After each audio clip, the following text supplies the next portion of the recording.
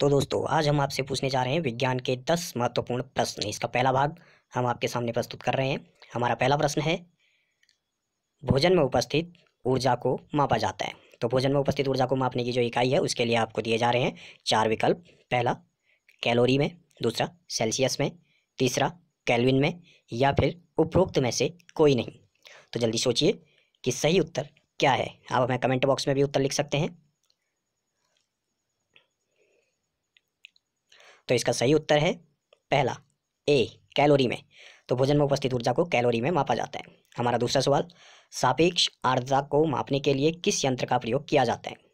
पहला, हाइग्रोमीटर, दूसरा, हाइड्रोमीटर, या फिर तीसरा, बैरोमीटर, या फिर डी, थर्मामीटर।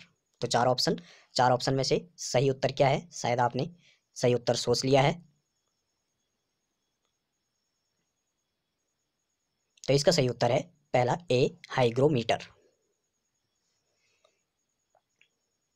हमारा तीसरा सवाल, दूध का घनत्व मापने के लिए किस उपकरण का उपयोग किया जाता है?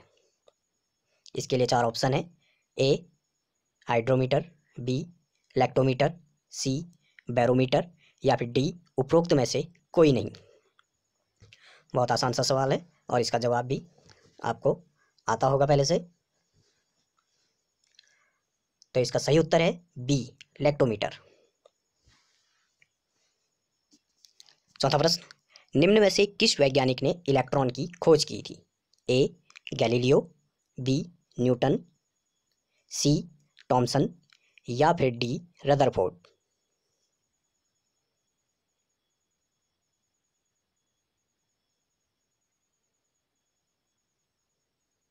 तो इसका सही उत्तर है सी टॉमसन टॉमसन ने इलेक्ट्रॉन की खोज की थी। अगला प्रश्न, पृथ्वी पर पाया जाने वाला सर्वाधिक कठोर तत्व कौन सा है? ए लोहा बी सीसा सी हीरा या फिर डी टंगस्टन। तो इसका सही उत्तर है सी हीरा।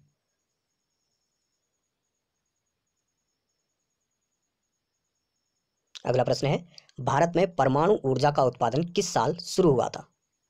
इसके लिए चार ऑप्शन है, ए, सन उन्नीस सौ छप्पन में, बी, सन उन्नीस सौ उनसत्तर में, सी, सन उन्नीस सौ इकहत्तर में, या फिर डी, सन उन्नीस सौ चौहत्तर में। Nineteen fifty six, nineteen sixty nine, nineteen seventy one और नाइनटीन सेवेंटी फोर। तो इसका सही आंसर है, बी, नाइनटीन सिक्सटी नाइन, उन्नीस सौ उनसत्तर में। हमारा सातवां प्रश्न, ELISA E L I S A परीक्षण कौन सी बीमारी पहचानने के लिए किया जाता है? ए क्षय रोग बी एड्स सी मधुमेह, या फिर डी टीबी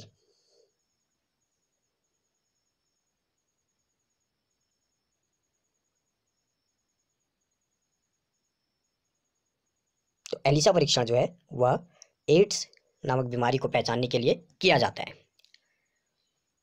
अगला प्रश्न बायोडीजल पौधा कौन सा है? इसके लिए ऑप्शन है ए जावा घास बी सरसों सी बबूल या फिर डी रतनजोत।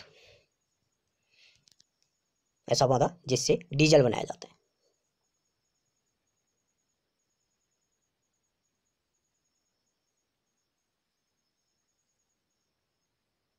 तो इसका सही उत्तर है डी रतनजोत। रतनजोत के पौधे से बायोडीजल प्राप्त होता है।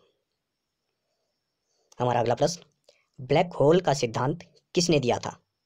इसके लिए चार ऑप्शन है A C V Raman B H J Bhabha C S Chandrasekharan या फिर डी एच खुराना।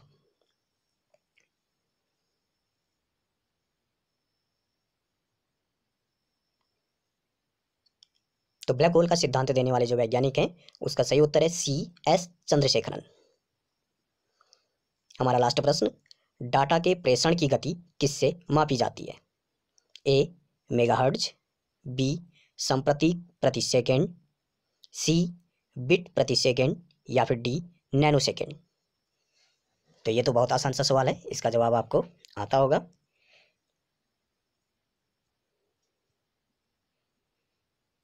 इसका सही उत्तर है सी बिट प्रति सेकेंड तो ये हमारे दस प्रश्न विज्ञान से संबंधित थे। यदि वीडियो पसंद आया तो वीडियो को लाइक कीजिए शेयर कीजिए और चैनल को सब्सक्राइब करना मत भूलिए। धन्यवाद।